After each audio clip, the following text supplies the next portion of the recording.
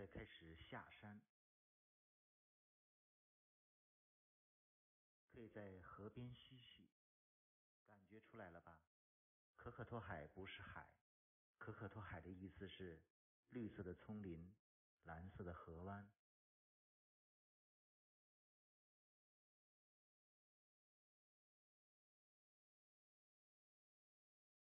欣赏完神中山，继续往前步行。前面继续乘坐景区交通车，还要大概开六七公里的样子。这一段路程不要徒步，就坐车过去。